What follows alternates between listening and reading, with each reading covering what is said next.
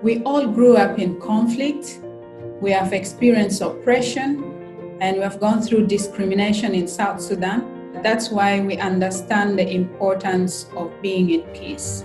Women are an essential part of the population of this country, so it will only make sense that women are part of building this nation into a stable and a peaceful country.